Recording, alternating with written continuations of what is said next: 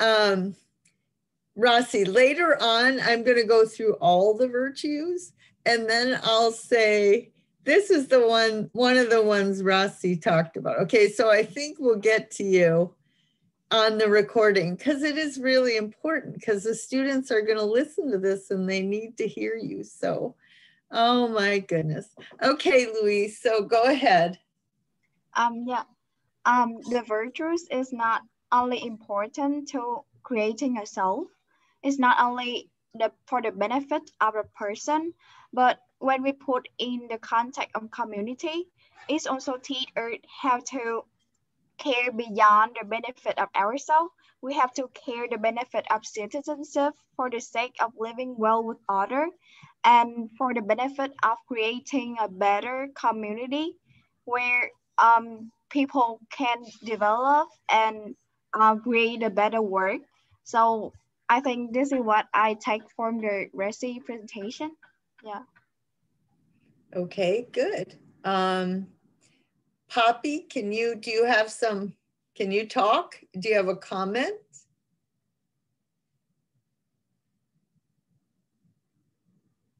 Okay, well, Poppy, you can interrupt anytime if you get, if you have something to say or if your electricity works or whatever. So, okay, May, what have you got? Okay. Well, I think um, I feel a bit related uh, when Rashid talked about the practical wisdom and the thing that in Cambodia, if people gather and um, the government know it, they will be put into jail. Um, actually, in Vietnam, we also have some of the policies, some of the rules during the lockdown. Um, of course, like as far as I know, there there is no rule about putting people into jail, but they are certainly like um, they, they certainly have to pay an amount of money if they don't wear mask in the, when they go out. And also if um, they gather uh, with a lot of people kind of like that.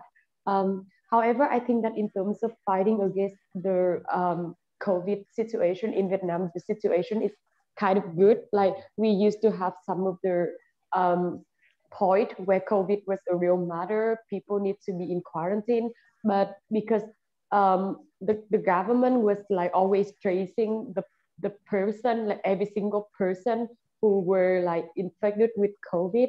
So, and also um, asking very clearly who they expose themselves to in every, like in every day. So um, the situation is very good. Like I even couldn't imagine like how they can do it with every single person, but basically we're they are doing very like a very good job in terms of like fighting against COVID situation.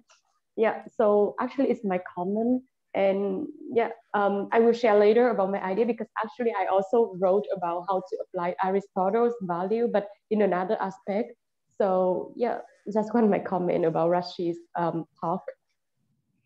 Okay, um, Al, are you still driving, or can you talk? I'm I'm around the corner from my house, but I can talk. Uh, I, if I had one question, it would probably be uh, if you could pick one of the the dialogues or readings or, or, books that we read over the course of the semester to uh, that everyone in your country would read. What reading do you think uh, would be most valuable for everyone to, to read? Oh, that's actually a good question. Honestly, I didn't even think of that but I feel like um, they should um, the citizens of Cambodia should be reading the different articles that we read about the goddesses because I feel like it's really important, especially for women, to realize the power of um, women, like of sisterhood and womanship. Because to me, it's where we are able to work together to get out of this patriarchal world and support one another. And since Cambodia has this culture of competition, it's like an Asian thing. Um, I know I'm stereotyping, but it's true. We have this idea of always wanting to be the best, like better than anyone else, and we don't want to share our struggles with anyone or talk with anyone a lot of the times we keep things to ourselves and it can like sometimes we can reach a breaking point and burst out. And so i feel like if they are able to read the different articles of the goddesses, especially the conversation at the end where um there there's like a group conversation where they're able to discuss um what's what's the problem with this goddess and what's the problem with that goddess. It's going to be helpful for them and they will learn to express their ideas and talk to other people so that we can all build from one another and be supportive of one another. Good. What about, Rossi, what about the gods where the therapist talks about these people have midlife crises, right? And how much harm they do. Like they think they're being a good man, right? Zeus and Apollo, and actually they're doing a lot of harm. And in midlife, their families often get alienated from them right? Do you think, do you think, you know, young men in their 30s and 40s could learn, would learn if they read some of that, maybe change? I think if they read it, they will kind of like pause and think about it, but it's going to be harder for them to change as they have this pride in themselves that they never want to listen or to change themselves. And so it would be harder. Like honestly i've seen a lot of men here. They would choose to die or commit suicide or do something when they have their midlife crisis or when something goes wrong in their life they choose not to listen nor change what they are like doing. They will be like that's kind of like losing their pride or losing their face and it's a toxic mentality that is passed down over generations. And i feel honestly i don't know how that is going to change when they're not willing to like open up and like think in a, a different way okay is suicide very common among men in Cambodia? It's not very common, but it it happens quite I, I don't know how to say this. It's like um I don't know in terms of like I don't know the statistics, but like I, I have seen it like right quite fre- frequently at, at least where I live. Like it's something like happening that for example, if they can't support their family or if they become jobless, they will ended up either running away from the family and they just disappeared. So people assume they like commit suicide or they run away or they will just took pills or yeah. Okay. All right. So actually, that was a good question, Alan. And for the rest of you, you can think anything with the goddesses or the gods. What about rethinking the Olympics, the origin of it, what sports, you know, is supposed to be like? Um, I don't know if Delphi, and then it was, um, we didn't do a lot with Homer. Um, I think instead of Homer, we did the gods because a lot of the Iliad and the Odyssey are about men and men's problems. So that's what we did instead. Um, and then there was Hecuba, and then there was um, Plato, Plato's dialogues. So then the question would be, if Cambodians could not necessarily read mythology, uh, Al, you should turn off your mic until, you know, I mean, you can talk if you want, okay. um, so with Plato's Apology, I mean, they don't necessarily have to read it, but if someone explained it to them and they talked, you know, about the character of Socrates and they talk about intellectual honesty, uh, everything, the only thing I know is that I don't know. Do you think Cambodians would understand that? Or do you think that would just be lost on them? what do you think, Rossi?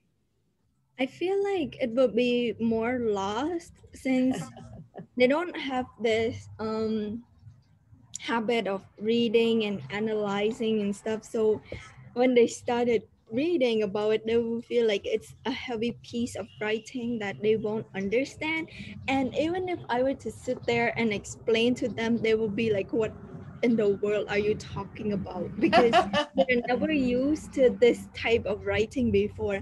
Um, usually um, here, 90% of the writings are either business related or love related.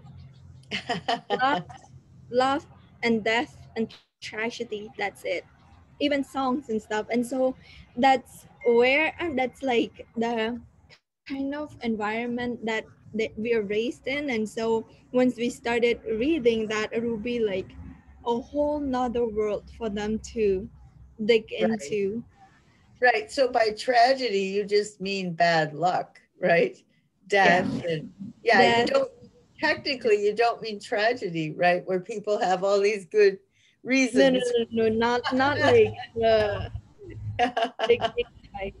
it really just means bad luck. Um, and there really is a difference. Uh, but anyway, so very good, Rossi. We have to we have to clap for Rossi. Yay. All right. So May, if you also did that same topic, then you should probably go next. Okay. Okay. Um, Actually, I have been a bit sick recently, so I haven't made uh, much progress, but I already have the idea and the outline. Why don't for, you talk um, a little slower? Just talk slower. Uh, okay. So um, I just said before that I have been a bit sick recently, so I haven't made uh, much progress, but I already have the idea um, and the outline about my final essay is like how to apply Aristotle's value into um, education in Vietnam because like I care about education and I want to be an educator in the future. So um, basically, I think um, the first virtue we um, the first thing we should educate like students um, is the goal should be um, to should be for their own happiness, like not for not to follow blindly any role model. Because in Vietnam, the thing is, um, students were told to like learn and um, go to the test and do everything to get high score, to get a good job, to um, get a high degree um, with some certain, like following some certain examples of some people. It might be like um, a famous person or it might be like some students who used to be learned in um, some some certain high schools, kind of like that. So I think that so when I was um, starting in high school in Vietnam, I felt that um, I was like constantly being told to follow like different models without knowing who they are and like because just the pictures told me to do so and i was never taught to like um to question like what i really wanted to do what made me happy or um, what I wanted to contribute or kind of stuff.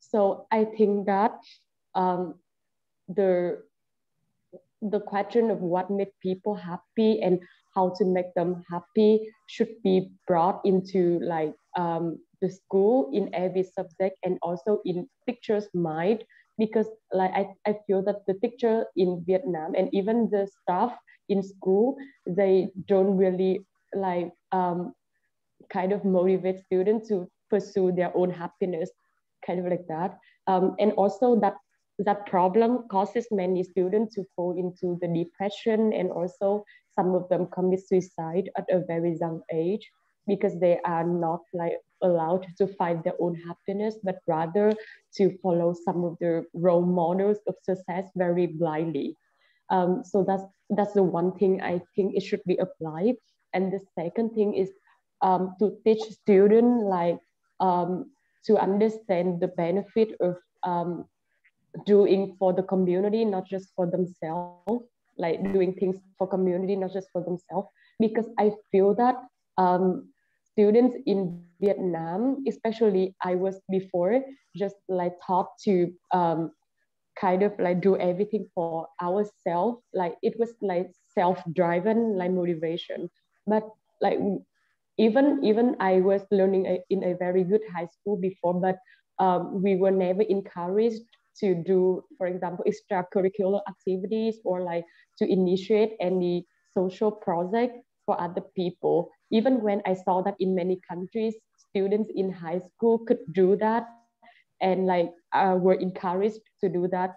Um, in high school, I was just told to like learn knowledge, uh, memorize them, and then pass the examination, and then um, get like a lot of academic achievement. But I, I even don't didn't know like why I needed to do that. I, I even didn't have the real interest in the subjects I learned, but because parents and also school expected me to do so. So I was like um, just doing it for myself. And also they told me that if I, I, I got like high academic achievement, I can I could get respect from other people. Um, and if I I don't have that, no one will respect me, kind of like that. So I think that is kind of a um, a toxic like um, opinion, and it like just like forced uh, students to do everything for themselves, to gain respect for themselves, everything for themselves, not uh, for any other people. Um, and they also didn't question the meaning of what they do in life. So I think it's also a problem.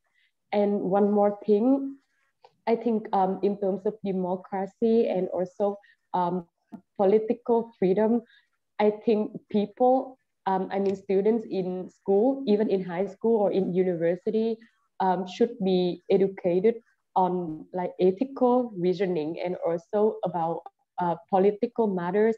Um, they because like actually we don't have that subject in school and in in actually in, univers- in university some of my friends were ta- are taught um, political but they were just um, exposing to um, Marxism and some of the um, and communism kind of like that. They some of them even don't know there, uh, there are the existence of like many other political theories in the world and many countries follow that. Um, let alone the benefit or like the disadvantages of those theories. So i feel that because they um, they were not taught on that or even when they were are taught on that there, there are a certain limit in the theories and also the perspectives they expose themselves to. So they usually um, don't know how to assess the situation in the country and also outside, um, even when the government um, is in the corruption situation or even there, were, there are some unfair, like um, some unfair, for example, unfair process in, um, for example, voting or like um, just some of the matters they even don't know. They either follow the government blindly or um, they refuse to post their opinion on that matter. Um, so I think that those subjects should be given um, into the school curriculum and people should oppose them, uh, should, should have the opportunity to expose themselves to different theories and the diversity of politics kind of stuff.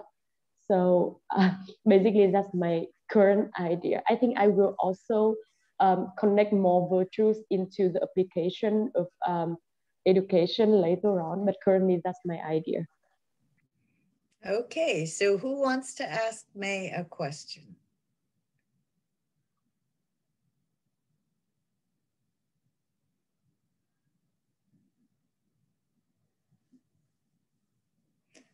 Well, let's see. Um, okay, so May, when it was um, political, right? Political education. Um, you could, I mean, one way to prevent the, the issue is how do you get students to reflect on politics without either blind obedience and the teacher is unpatriotic or else just sort of blind rebellion and the government is always corrupt, right? It's just, it amazes me how easily people fall into these stereotypes that there's almost no way that the government is always right or always wrong. right? That's just sort of yes. obvious. But how do you get people to make distinctions, right? Just ask people to, um, and so that would, the question is, how would you do that as a teacher, right? So you would present capitalism, you would present, you know, what it was like at this time or that time. You can present the different forms that it takes. Like um, it was so funny when I was in China, they have, you know, opened up to capitalism, right? It's called the opening up. And it was really funny because they called it um, socialism with a Chinese character. which really just means capitalism. Okay. Well, on the other hand, in America, you know, we get Obamacare, but you can't call it socialism. So you call it capitalism with an American character. just, and so instead of just having all this crazy rhetoric, you should just say, here's the government and here's the economic system and if all you have is government, you're going to kill the economy. And if all you have is a free economy, you're going to kill people because the rich will get richer. So every country in the world, except maybe North Korea, is just figuring out how to balance this, right? And then, yes. yeah, and then some common, what really needs to be in common? Well, there has the government has to rule for the benefit of the ruled no matter if it's a monarchy an aristocracy or a democracy and also if in one country they might need um, i mean every country to me needs basic health care basic everything that people absolutely have to need it's not a choice should be government because otherwise greed really oh, runs it, right? Does that make sense? So yes, yes, yes. basic healthcare, basic transportation, basic education, the government needs to do it because if you get a profit off of something where your consumer can't say no, right? They have to take it. You're going to sell them a lousy product at a high price, right? So that seems, you know, sort of obvious. But um, no matter what the government is, there needs to be rule for the sake of the ruled, and there needs to be trust, right, between the people and the government. They have to show that they're trustworthy, and they have to have goodwill for the people, right? And people have to trust each other. The people have to be trustworthy and they have to have goodwill for each other. So, so you know, it's not like the government can't do the whole thing. And then they yes. have to be transparent. And this is true at a personal level too, right? Transparent. Like you don't secretly hide behind, you know, do things behind people's backs. You just, here's what I did. And accountability. Here's why I did it. And then somebody else can question you. And that's how you learn.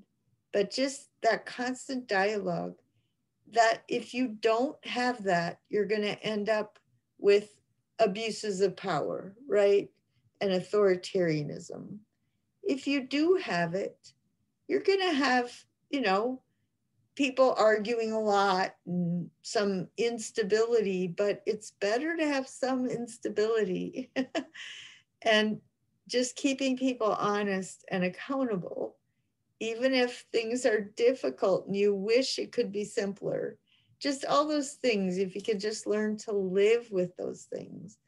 Um, but the thing that really bothers me is when people say, well, I don't like politics. You know, I don't I don't like to think about it. Well, you know, that's like saying, uh, well, I just happen to like sugar and I just happen to eat it all day. You know, it's just one of those things. Like, this is not just a personal opinion. like if you say, I don't think about politics, that's like saying, um, I I don't eat healthy food, right? And because it's food for your soul, right? Deliberating about political things is like nourishment for your soul. You can't really be a person unless you get a regular diet of thinking about complex, difficult political things um, and personal things. Um, I don't know. I talk a lot, but does that make sense? Uh, yeah. Also, can I share something? Like actually, like during what you said, I usually like have some of the thought I want to share. Like firstly, I want to share my personal experience in AUW. There, there is a class um also um starting in in this semester, which is ethical reasoning in um, international politics and uh, international relation and politics. I think that it really helps me, um, you know, like before I before coming to AUW, I was actually not interested in politics. actually, it's, it's not just because I didn't have interest, but I think that it's because politics is something taboo in Vietnam. We were not taught on that. So how could I know if I have talent in that or if I really like that? But when I come to AUW, and I think it's a very good like liberal arts like um, education environment. So in that class, um, it's the first time I was introduced to different like um, political theories and ideologies from realism, liberalism to Marxism or like postmodernism, basically a lot. And also the teacher, besides the lecture, he kind of like um, held some debates um, for us to like put ourselves in different positions. Even when i even when sometimes i was put into the positions i was not like agreeing with but basically it helps me to like um, improve my critical thinking to broaden my perspective and to understand why some people think in a different way. So um, we were given different scenarios in debate and we need to defend ourselves. And by doing so i could like improve uh, like my knowledge and also broaden my perspective a lot. And also from that I, I could learn how to kind of respect people's opinions and differences because they have like um, they come from different cultures and they have different points of view kind of like that. And uh, thanks to that class i gradually have interest in like uh, political education and i know that um, I'm lucky to have that opportunity. But I know that many people in Vietnam and also I think in many Asian countries, they don't have that kind of opportunity. So I think that in the future, I may um, try to bring the liberal arts education into my country.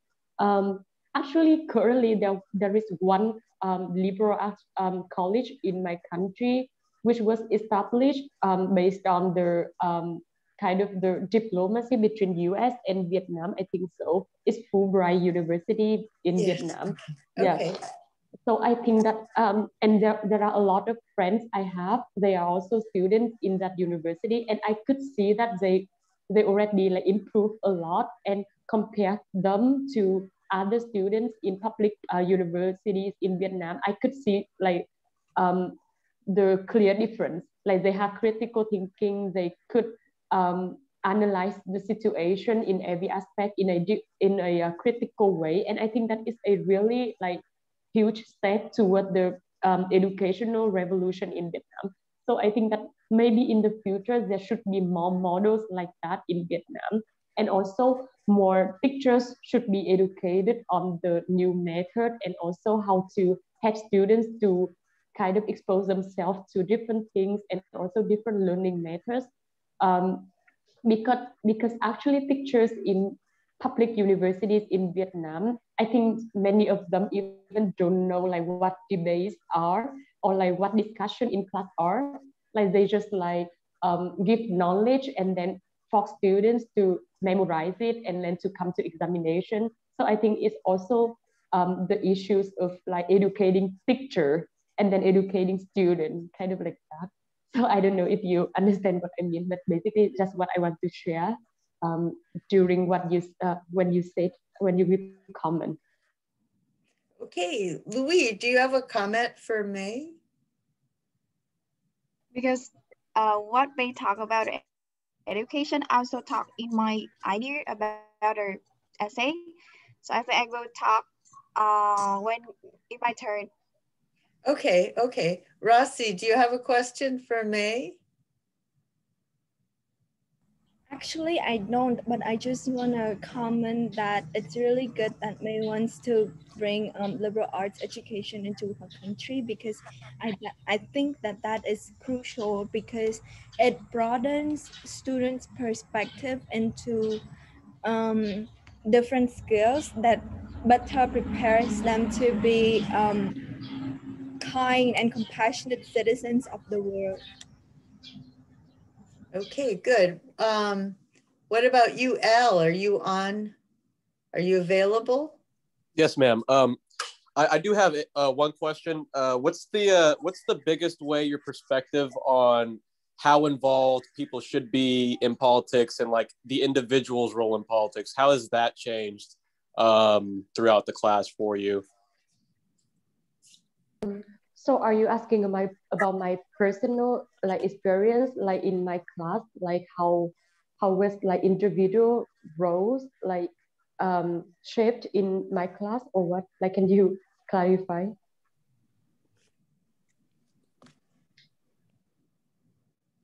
Hello? Yeah. She just wanted you to clarify. Hello? Can, can you can you hear me? Yes. We can hear you, but I think you can't hear us. Hello? Hi, okay. Um, uh, I was at, basically asking uh, how, what do you think the individual's role, how has that changed um, in your opinion, like from beginning to end of the class in politics? Uh, so you're asking about my personal experience, right? Like, yeah. like about the class I, uh, okay. Um, actually, I so individual roles I, I'm, I'm not sure i understand what you mean but like i think that it's not actually changing about the role it's just changing about students perspective. Like um actually during the whole course we are given like um, the chance to speak like freely about politics and also um, are encouraged to talk about like um, even unconventional like conversation that I might not feel comfortable comfortable talking in real life because in my country, politics is a taboo topic. However, like I am always encouraged to talk about that. And in every debate, we always have like the chance to speak up, like from the presenter to the one who like um, challenge other people in another round, kind of like that. I think that um, the biggest trend is the students' perspective. Actually, um, last week we have a we had a final session on what we learned and what we um, get, what, what we think is the most important thing we gain from the class. And I could listen to everyone's opinion. And I saw that many of us also like from the beginning, they may, they may not like feel comfortable talking about politics and they don't like, they didn't have enough knowledge or like um, kind of skills to talk about that. But at the end of the class, they know that um, politics is very important and it affects like every aspect of our life. And also um, we can we can we can like kind of um, know many theories and also like know many scenarios in the world politics to really like pose our opinion based on that.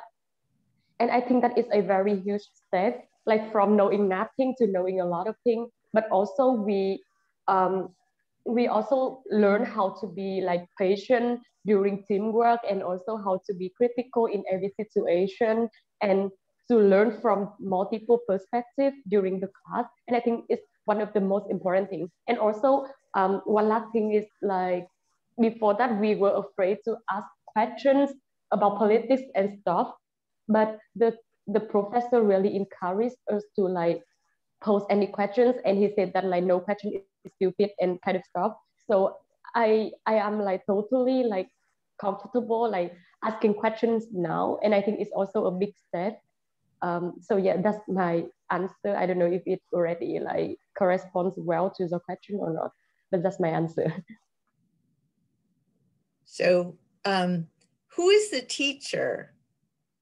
Um, he is a Turkish professor. Like his name is Eros. I don't know if I'm not sure if you know him because he just um, started teaching since Does he have January. round glasses? Does he? Yeah, have yeah, round? yeah. Okay. Yeah. Um, professor know, uh, about before. Yeah, I know him. He's in the core with me, and and he meets with with me, you know, during these core meetings, and um, I was I talk a lot, but um, he really was liking some of the stuff I said at the last meeting. And one of the things I said was that um, uh, I just trust the students because I think liberal arts is based on trust. And so I just assume the absences are excused or something like that. I can't remember exactly, but he just thought that was great. You know, yeah, trust, that's what it's about. So that was nice. Um, yeah, I've never met him. I just see him in this meeting, but he seems like a very like-minded person, you know, that I would like to talk to him. Um, the other point I wanted to make, make, I think this is an important distinction, is that just being an informed citizen, right? So making your political leaders accountable or talking to other people about the decisions being made. That's what matters. Like nobody has to change their job and get, you know, have a political career. So there's a difference between having a political career and being an informed citizen. So you could be a doctor and be totally uninformed or totally corrupt, or you could be an informed citizen and a doctor. Uh, does that make sense, May? Yeah, I totally understand. I agree. And because um, that's what the society needs. It needs people to develop some professionalism, to get really good at some skill, and to use it for the benefit of the people who need it so that they also can recognize if a politician is really using his power or her power for the benefit because they know, you know, I could be corrupt, but I'm not. I choose not to. But that politician is because I know what he's doing, or he's not because I know what he's not doing, right? Yes. Is that's what really is important, just informed citizens and citizens that govern themselves. Because even if you had a good politician, if the people are ungovernable, right? If they're just greedy or they're just uh, self indulgent, there's nothing a good politician can even do. So it's very much a dynamic relationship, like an extended family. You know, people can choose to get along or not, you know. They can choose to, to, to tell stories and gossip about each other. they can use, they can choose to get along. Um, so, okay, that was one distinction I wanted to make. Um, in the US, we have a, a large number of people who have decided to have a political career um, working in the campaigns of a certain political party and and when those people don't have any other career options or when um, if they're paid in a political career by the party operatives they get paid way more money or they have way more power than they would have if they tried to get a job that's really very dangerous because then they will uh, participate in manipulation and they will go along with the corruption they'll just say, well, I, you know, it was my career to be uh, support Republican politicians or Democratic politicians, and this is my only job, or I mean, I have a certain standard of living, and so, um, so that's why we don't really need more people who are political operatives, right? We just need people who are good people and they're informed right? There's some good people, but they're not informed. Well, that's not good. You could be a good person, a good mother, maybe a good teacher, but not a good citizen. So we also need to be people who are good citizens. Does that make sense, May? Yeah, I agree. Yeah, okay. Um, Rossi, did you, uh, okay, so I think it's, I think I'll go with Louis next and then Al after that. Does that sound good, guys? And Poppy, if she can, if she find, you know, finds her voice. Um, so go ahead, Louis. Yeah, I think uh, one of my idea of the paper is how this class and another class at AUW helped me to creating a self also changing my point of view about the world. So um, I don't know if you remember a, a quote that formed the exciting shift, the book that you told me that you read, you already read before. Um, what was it called? What? Yeah. What Can was? repeat again? What was the Uh, book? ex, a silent shift about a liberal art college an American. Um, How do you so, spell yeah. that? whatever. Excellent Sheep. Excellent Sheep. Mm, You want to type it in the chat? okay.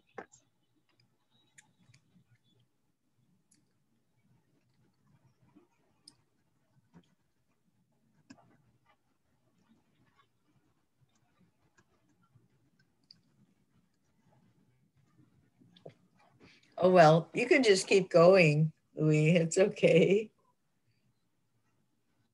Um, yeah, the code is uh the the main reason to read the classic author to see if they may know you better than you know yourself. So I Oh, think it's perfectly true to this class.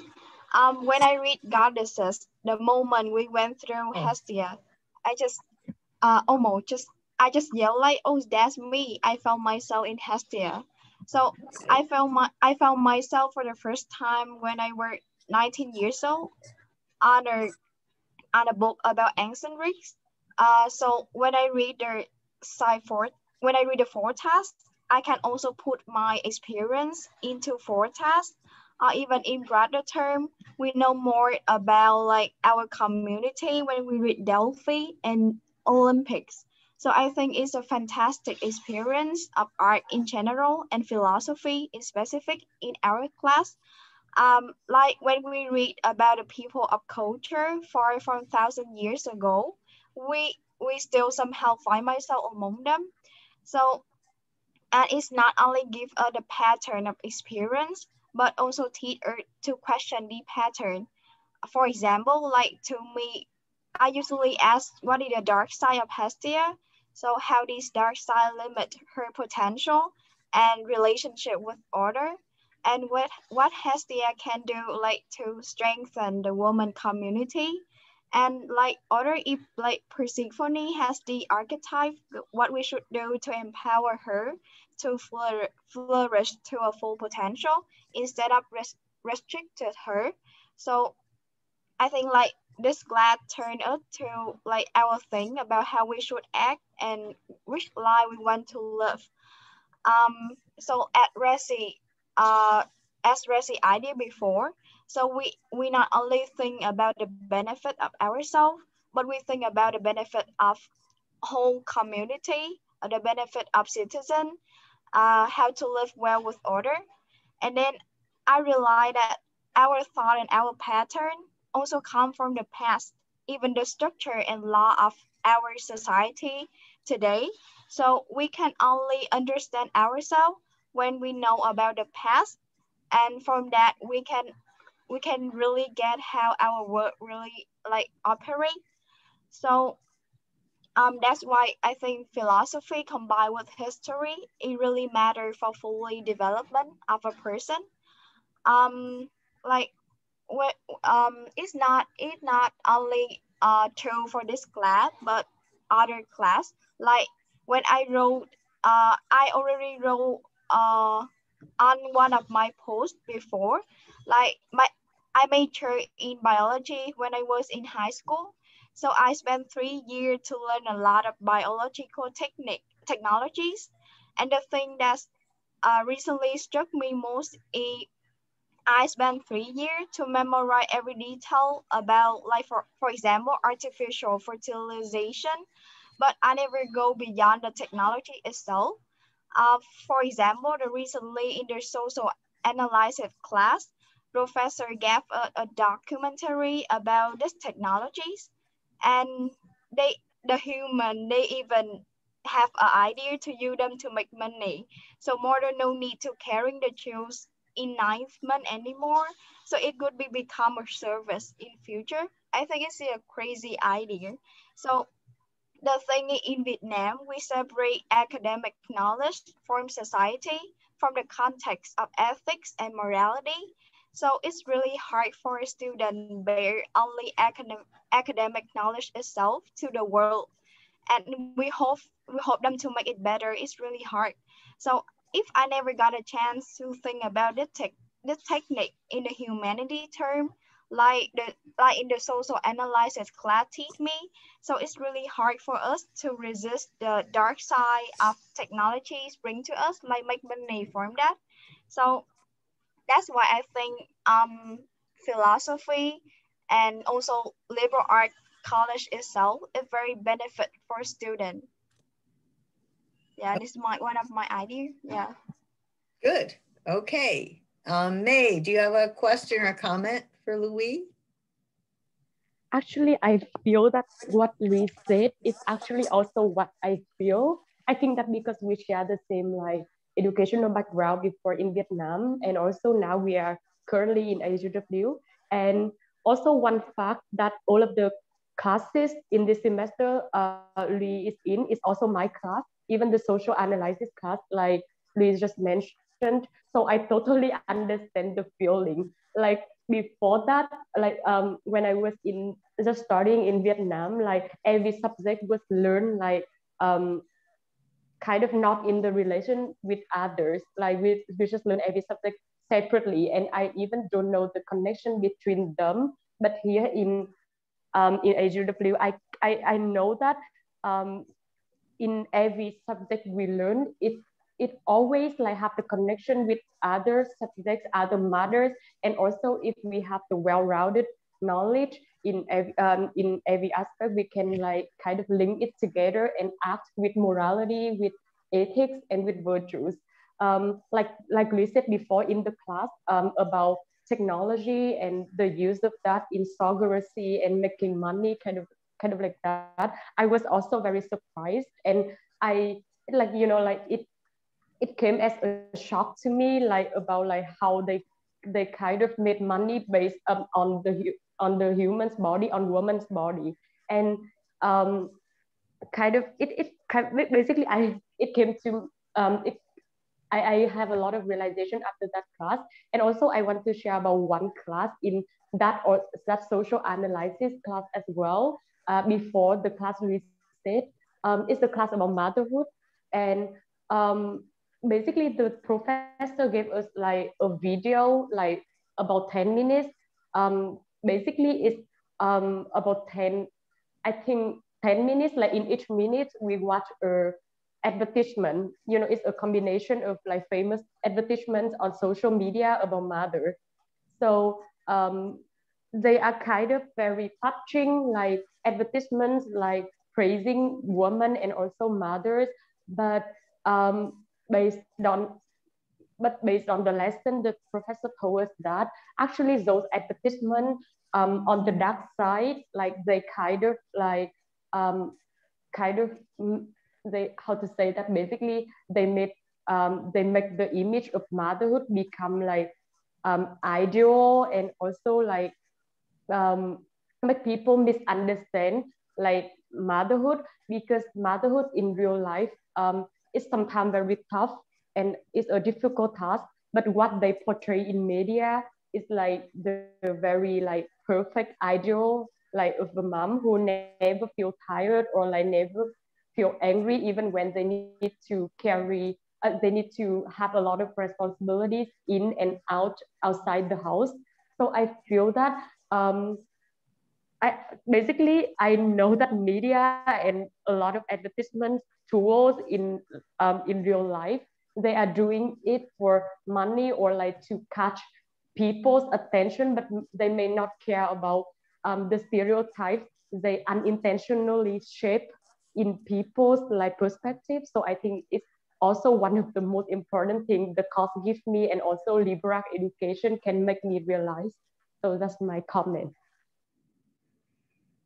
Actually, that's kind of a form of being in love with love.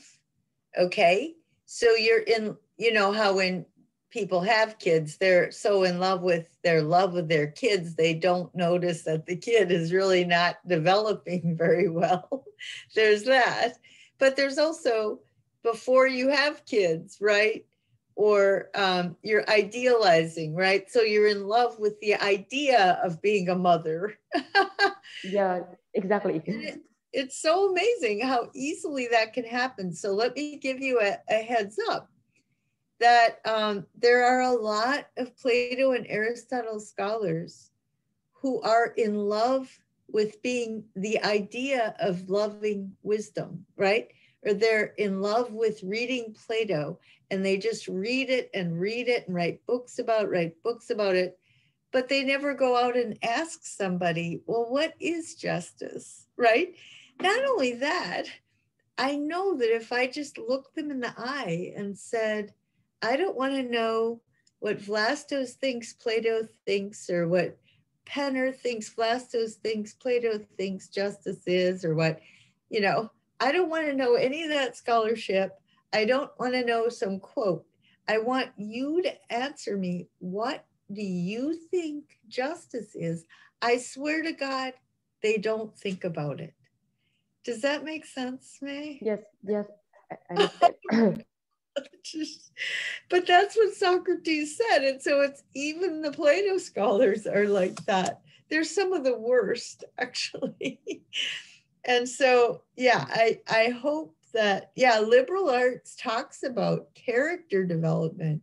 And that's why they have you in this climate where you're that's why they have school clubs. You actually have to exercise authority. You have to have to rule and be ruled. You actually have to be accountable and transparent. And there's, uh, you know, it's boots on the ground, but then the expectation is that you go out in the world and you keep your boots on the ground, you know, you come you link your mind and your body like they're always connected you don't separate them um, does that make sense to you? Yes.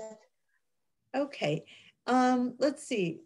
Um, who else? Somebody else have a question for um, Louis? That was why, as a mother, I didn't want my kids to watch TV because I thought they start watching those sitcoms, they're not going to know the difference between fantasy and reality, right? I mean, you are what you actually do every day. That's what's registering. Um, so I actually had them, it was important to me that they related to each other a lot and positively. And they do like each other a lot, even though they don't live very close together. Um, but the other thing, Louis, I want to, if nobody else, I just have to tell you the story and I let's picture it as a Greek tragedy, okay? This is how I have it pictured in my head with uh, biological technology, right? The in vitro fertilization. Um, so there are people like the scientists are sitting in their labs and they have such good intentions, right? And so you have a scene where the scientist, oh my gosh, I got this, and now it can help women get over for infertility, and couples can be so happy.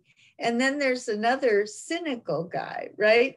I'm going to make so much money off of this. Now, one of those people could be, oh, I'm so glad I get to make a good living, but I'm selling a good product and it's going to make people happy. And then there's the other more cynical one I can really get people at a vulnerable place and really charge a lot of money because they're going to want it no matter what the cost, right? Well, then there's my daughter, okay? My daughter uh, her husband had a lot of genetic issues. And so they did in vitro. And she said, so this is the image of like a scene from a Greek tragedy. She said it was horrible. It was this horrible experience because it was so unnatural, right? They put this thing in your and they suck the eggs out, and it's just like she just thought it was horrible. And so you picture it. She goes home to her husband. She says, I can't do that again. It's just too awful. And he insists, okay? He does not care about her. He cares about getting this to work.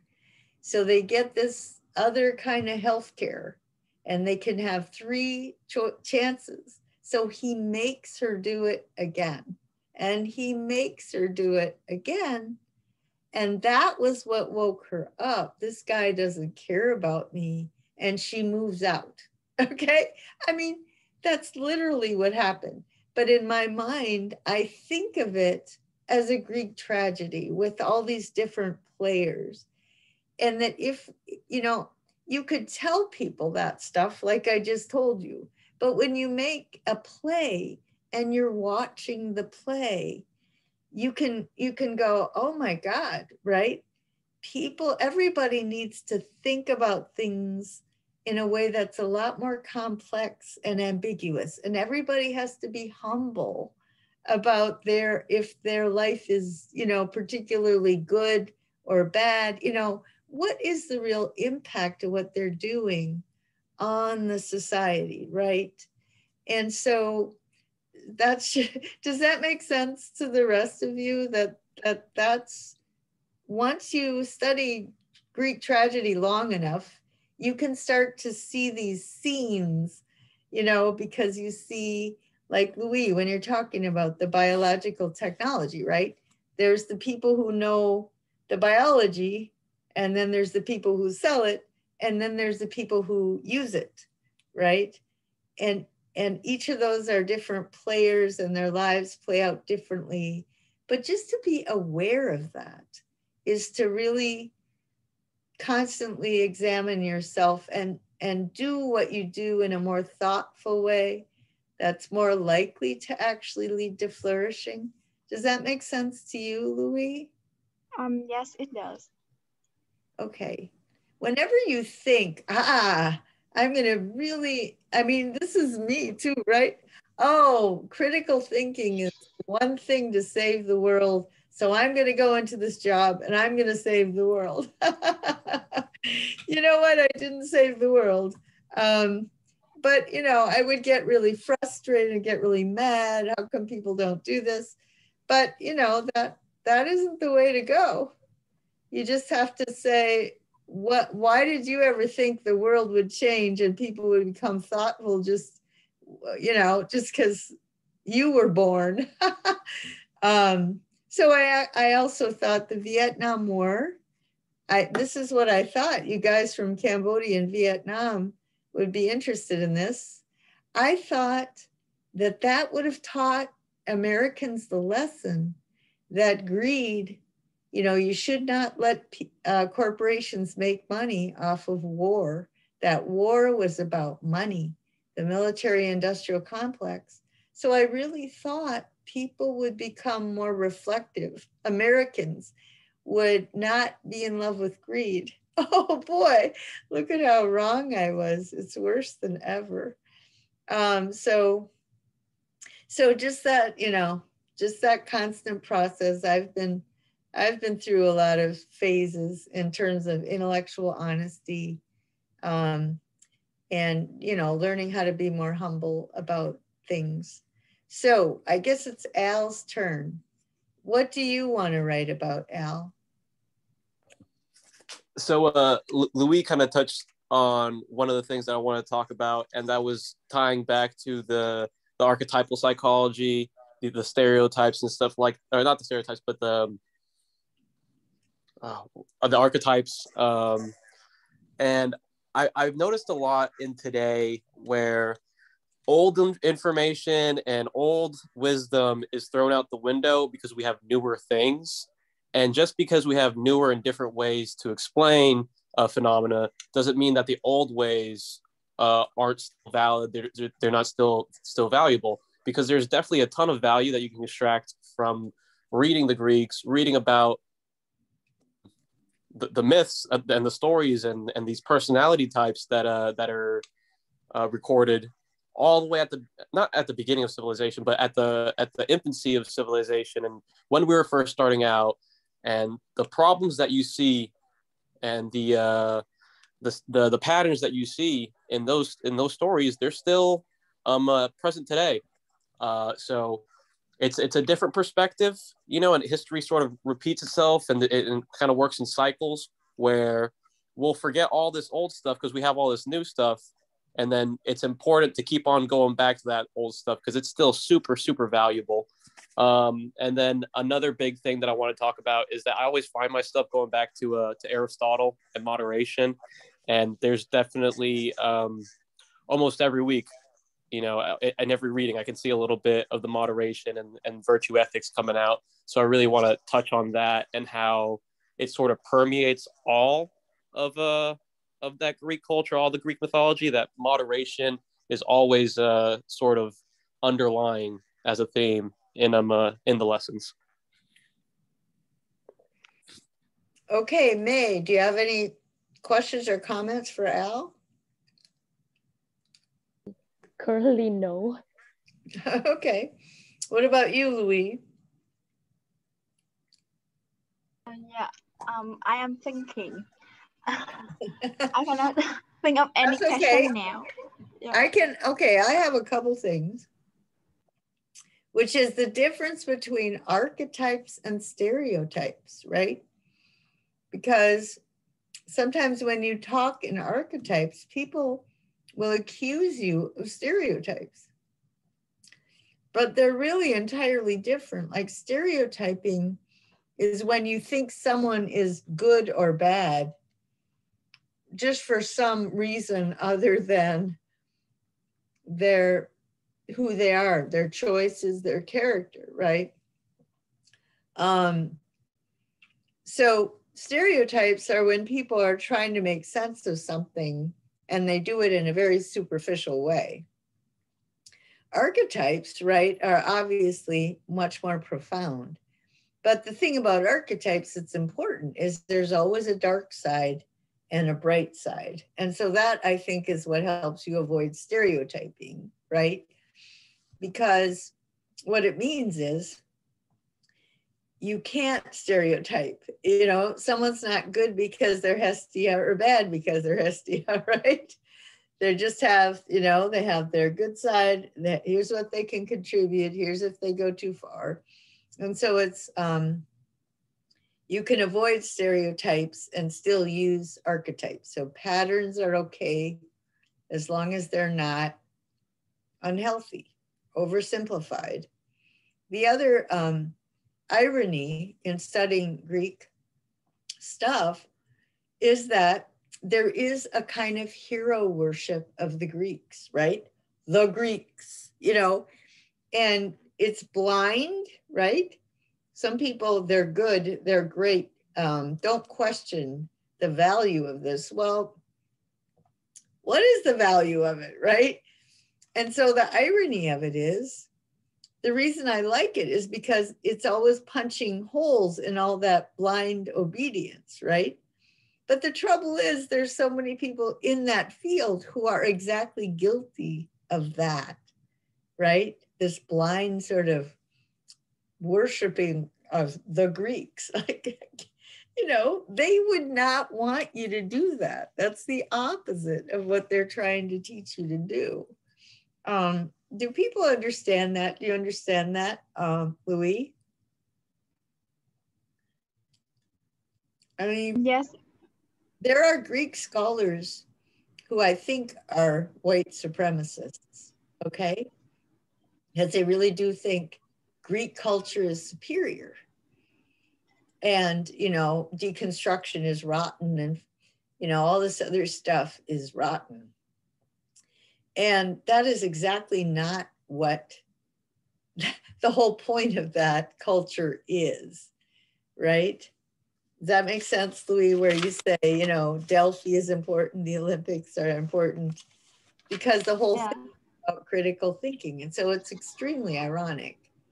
Um, the other thing it's important for you to know, developing countries, is that Aristotle and the Greeks were very of one major bludgeon used to beat down people in developing countries, you know?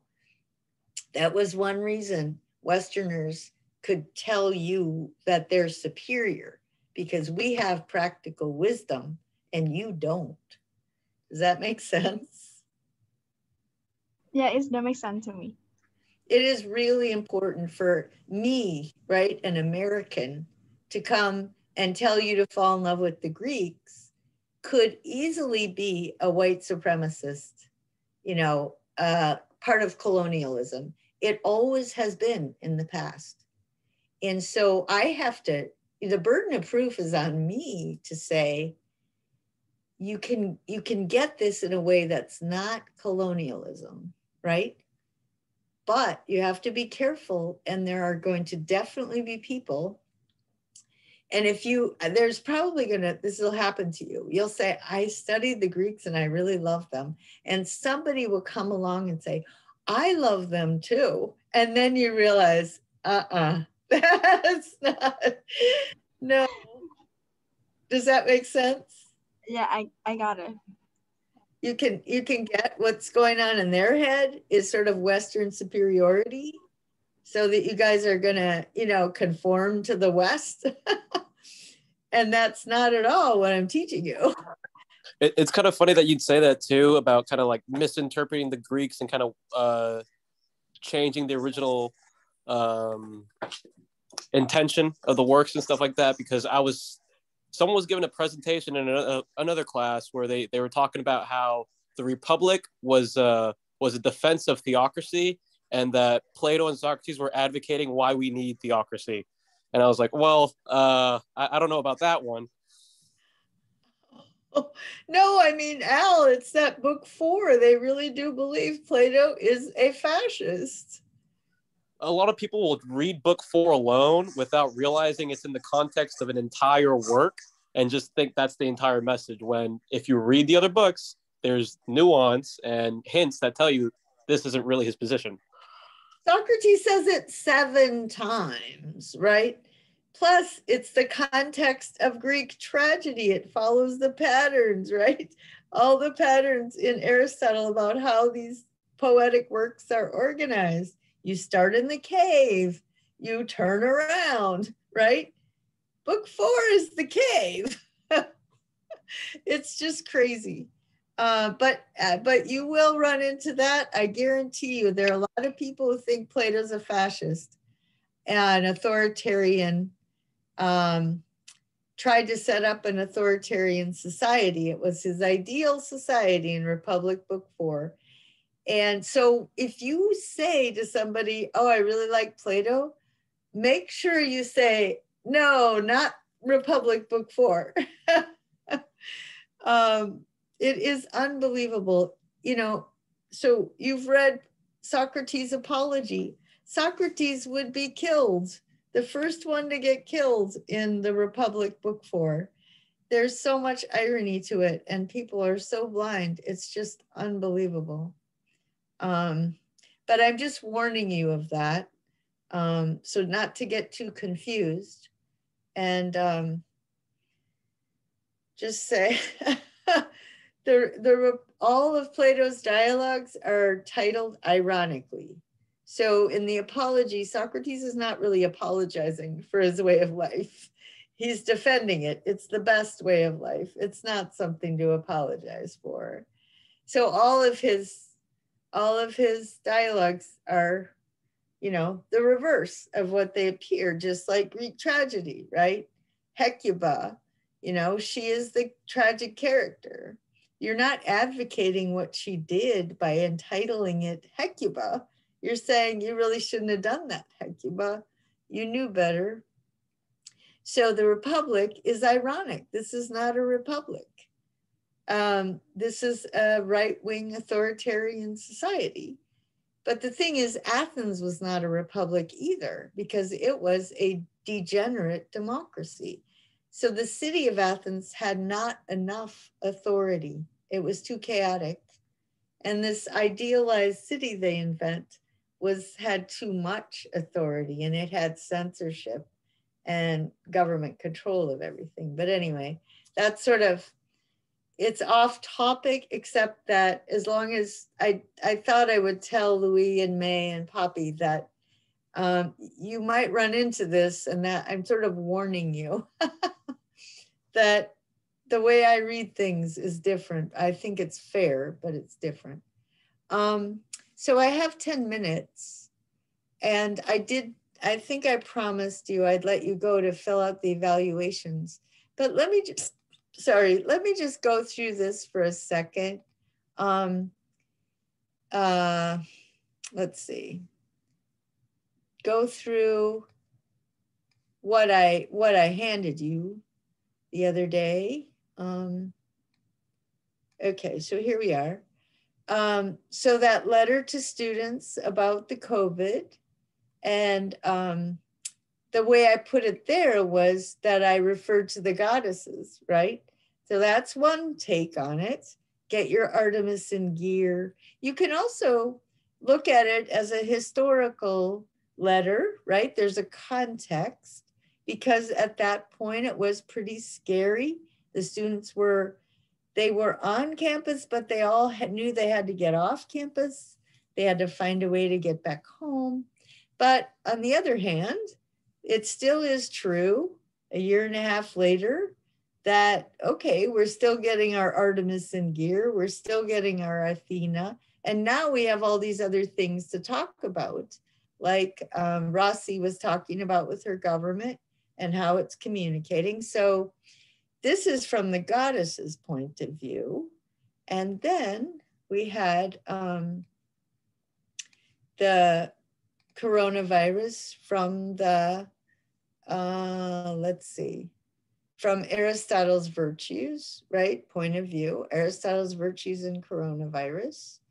Um, so another thing, yeah, we could um, talk about all the virtues. So Rossi talked about um, courage, generosity, and um, truthfulness of the government and uh, making the art of legislation. Distribution of wealth would be the distribution of the vaccines, right? So we know that developing countries and developed countries, you know, the, the gap, the power struggle, the resource uh, differential is exposed during the coronavirus. Um, and then she talked about rectifying wrongs, what kind of punishments uh, applying the laws. So what happens is that do rich kids get to break the laws and they don't get fined or go to jail, whereas the poorer people do? She didn't bring that up, but that's who gets to apply the laws are the judges, you know, privileged from the privileged class. And so they they let their kids or their friends' kids off, but not, you know, the poorer uh, people. Then we have, she covered the object of wish, uh, how to do, how to talk about what the real options are uh, and make the right choice and know why. And um, then you have to persuade people also. So is the government doing a good job of persuading? Well, you have to have trust and goodwill in order for people to listen to you. But then people themselves have to be trustworthy. I mean, it could be that the politician is completely right, but they can't convince people because people are corrupt. Sometimes, you know, the politician is corrupt. It just varies a lot. Um, then there's what sort of products are being made? Well, vaccines are being made, but there, you know, there's other products being made to help us deal, well, the masks, obviously. And so there's all this stuff sort of being invented. Um, let's see. Um, and then there, the other big issue is like the STEM type of education. You were talking about that kind of education where biology and biological technology, all that stuff. But that can get tied to any kind of character. And so that's that's why I do like to fall back onto Aristotle's virtues. It just seems to me it explains so much of what goes on around us because it's just tied to the human condition. We have these capacities as the product of evolution. The universe is ordered. We evolved by responding to that universe. And the more we could remember the patterns, the better our survival rate was because we were more fit, right? We could predict which places uh, are dangerous, which places are safe. So over time, we developed, our brains developed, but it, it wouldn't have worked unless the world actually is ordered out there. So we did have those abilities, but then when we start thinking about our thinking, all of a sudden we can detach ourselves from what we see in front of our eyes and we can come up with all sorts of ideas about virtue and vice, justice and injustice, and they can go completely against our natural drives. Like you can starve yourself for the sake of some cause, or Black Lives Matter, you could put yourself in danger. You can get yourself beaten up. That's, I mean, your natural response is to run away or fight back, fight or flight, right? But you can do it just because of an idea you have about justice and how to bring about social change. So human beings are capable of incredibly noble things, but they're also capable of huge evils because they have this power of choice. And what governs their choices are their ideas about good and evil. And that's why it takes a whole lifetime to constantly be examining and re examining this because things are always changing and because there are things you, things might be the same, but you didn't know them, right? You were ignorant, then you became more knowledgeable. Um, or you were naive about character, and all of a sudden you get some insights about what greed really means, what it means to be greedy, or a political operative, how they justify going along with a corrupt leader. Well, this is my job. You know, I made a commitment to the Republican Party. Just, they find a way to justify it, and you have to understand that. Um, so Rossi talked about magnanimity, right? The wealthy people were being generous. Day to day, people who aren't wealthy can be generous. Um, even tempered, we no one talked about that, but that's a big issue. Uh, rational ambition, um, people are getting frustrated, right? Because they can't finish school, you know, they they have rational ambitions and they have to figure out how to not lose sight of those ambitions during this time when they're getting frustrated, but they have to keep, you know, keep your eye on the mark, keep thinking about the highest good for you and your society. Um, make sure to honor people who are actually helping. Um, and so we we have a whole different uh, subclass of who to honor, like the frontline workers. All of a sudden, we've got frontline workers and we honor them. That just is, we, they've always been there and they've always been honorable, but all of a sudden, you know, it comes to the fore. It becomes a major issue. Um, one of the reasons that I would not want to take risks, I told people, you know, I don't want to take a risk and then get in the hospital and have to look the nurse and the doc the nurse in the face and saying i'm putting your life at risk and your family's life because i didn't bother to wear a mask you know? And i had that in my mind like i do not want to have to look somebody in the eye like that. And that was a big motivator for me. Um, the frontline worker thing.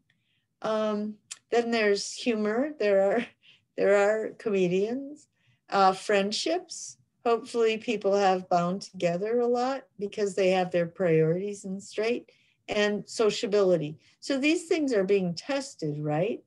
uh, especially when on top of it is Black Lives Matter and class and also climate issues. So all this stuff is sort of, it was always there. It's just getting magnified. It's getting more intense. Um, and so these are all should be considered um, character. They're all, uh, they're building your character, right? If you can overcome the fear or, or, you know, still not get depressed, right? Keep going. And it is a character builder, no question. um, so here's the mission of Asia University. And it's a great, right? It's a great mission. Um, motivated, effective, service oriented citizens, promote development of intercultural understanding, uh, a residential learning community. Um, different cultural and religious backgrounds can grow personally and intellectually, student focused. So it is, you know, teaching is important. That's why I told you to take the evaluation seriously. And also humanities, natural and social science is a broad base of inquiry, um, independent studies, depth, uh, applied studies, um, and then link the theory to the contemporary issues and challenges, right? Uh, intellectual, reflective, leadership, and service. So I think, you know, that really covers it. And I, I think of my classes as just giving the natural foundation for that and also the cultural foundation, the, the particular one that I studied. That originally small liberal arts schools were, uh, Plato started the first one. And so I, I do have this, I did happen to study the culture where what's thought of as the first small liberal arts school is, is the curriculum that I teach. So um, and then Lyon has its mission statement intellectual honesty, commitment to truth, fairness, patience with complexity. So um, you can write, you know, your paper on that if you want to too, but it's all up to you. Um, I got to let you go now. So um, make sure to fill out your evaluations. Uh, you can meet me about your papers. And uh, for the students who end up listening to this on YouTube, uh, don't forget to meet with me, and I hope it helped. Probably did help to listen to this. So take care, guys. Okay. Thank you, Professor. And take yes. care. I hope to see you again on campus or maybe in a class. That would be great. Yeah, okay.